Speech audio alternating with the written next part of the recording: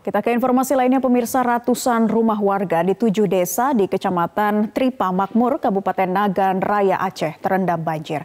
Sebagian warga masih bertahan di rumahnya. Hujan deras disertai angin kencang sejak Sabtu sore hingga Minggu kemarin mengakibatkan tujuh desa di Kecamatan Tripa Makmur, Kabupaten Nagan Raya terendam banjir dengan ketinggian setengah hingga satu meter. Banjir juga merendam akses lalu lintas di kawasan tersebut.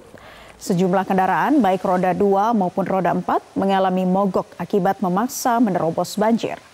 Hingga kini puluhan personil gabungan baik TNI, Polri, serta BPBD Nagan Raya diturunkan ke lokasi guna melakukan evakuasi barang-barang berharga milik warga terdampak.